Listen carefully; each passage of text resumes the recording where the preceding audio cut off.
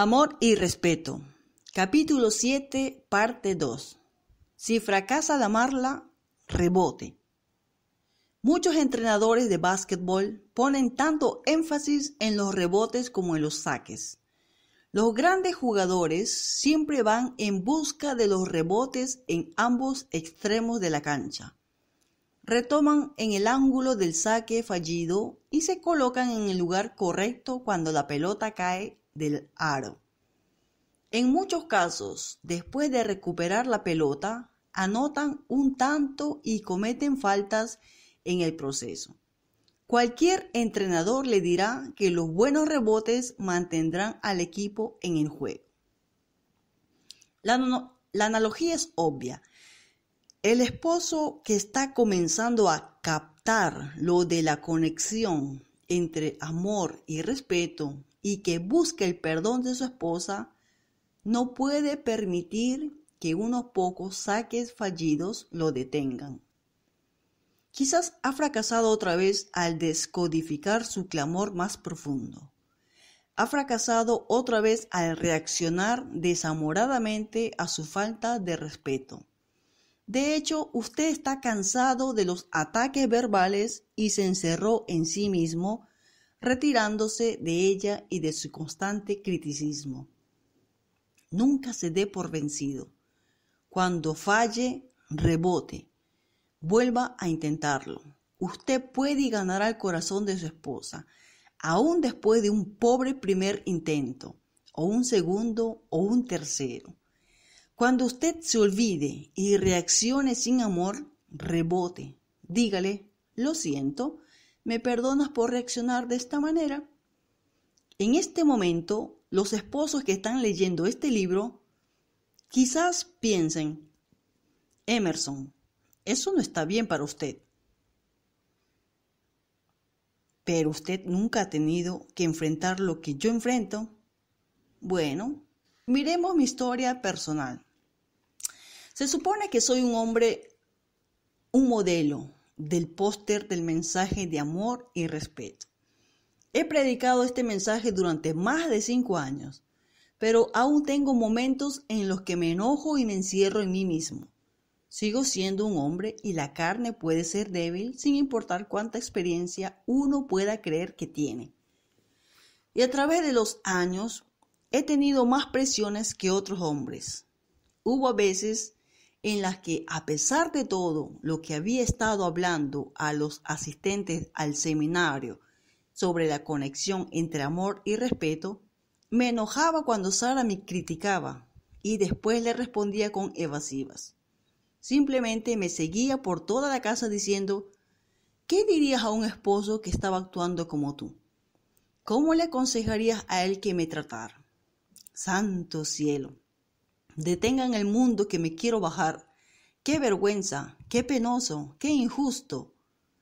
En algún punto, sin embargo, me tengo que tranquilizar. Tengo que crecer, ser maduro. Como Fons en Happy Days, trato de articular. Cometí un error, cometí un, er un error. No me gusta que me falten el respeto y después tener que pedir disculpas por no ser más desamorado que cualquier otro. No es normal. Pero por experiencia personal sé que es posible fracasar, incluso como supuesto experto, y recuperarse. Sé lo que es rebotar cuando parece que no podemos anotar ningún tanto. Cierto día, Mientras oraba y buscaba respuestas a mis propias debilidades, encontré ayuda en la escritura. Malaquía nos dice, guardaos pues en vuestro espíritu y no seáis desleales para con la mujer de vuestra juventud. También hallé verdadero solaz en Proverbios 24, 16, porque siete veces cae el justo y vuelve a levantarse. Ninguno de nosotros es perfecto todos explotamos alguna vez.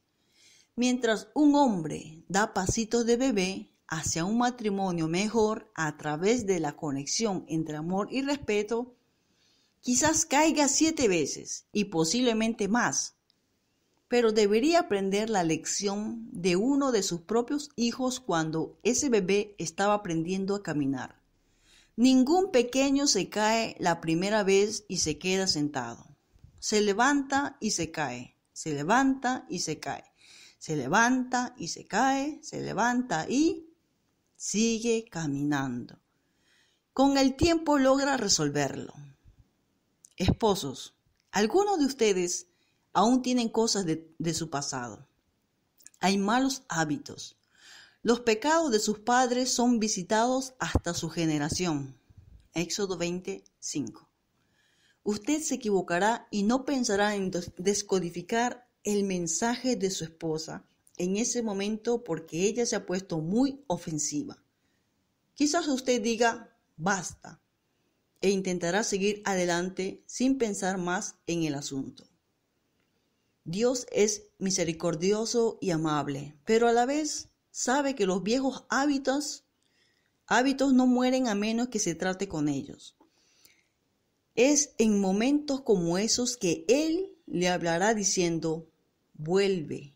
Sin quererlo, olvidaste descodificar su mensaje. Respondiste como varón. Pensabas que estabas haciendo una cosa honorable al negarte a entablar conversación con ella. Pero eso ahora no va a funcionar. No detendrá la locura. Quiero que oigas su clamor más profundo y te acerques a ella. Permite que se desahogue. Acepta su enojo y negatividad. Si puede hacer eso, si puede soportar el golpe y seguir acercándose, entonces será capaz de decir algo como esto. Cariño, Siento haber tenido una actitud tan desamorada. Cuando me atacas de esa manera, me hace enojar porque siento que no me respetas, pero quiero cambiar. Por favor, ayúdame. Cuando su esposa lo ataca, echando chispas por los ojos y con una lengua que destila veneno, cualquier esposo tiene dos opciones. Uno, defender su orgullo contraatacando con su propio veneno o respondiendo con evasivas. 2. Intentar oír el clamor de su esposa y responder con amor incondicional. He tomado la decisión de que, con la ayuda de Dios, siempre voy a elegir la opción 2. Intentar oír el clamor de Sara y responder con amor incondicional. Pero aunque nuestro matrimonio está mucho mejor y más fuerte que nunca, aún sucede que erro al blanco del amor de vez en cuando. Y cuando erro, aún por muy poquito, reboto. Después de tranquilizarme, por lo general, después de unos minutos digo, cariño, lo siento, sé que he sido un desamorado. Y por supuesto, del otro extremo de nuestro matrimonio, esa maravillosa mujer que siempre supe que sería mi amiga, responde y dice que siente haberme faltado el respeto. Lo mejor de todo es que ya no me sigue por toda la casa deseando saber cómo aconsejaría a un esposo que actuara como un necio desamorado.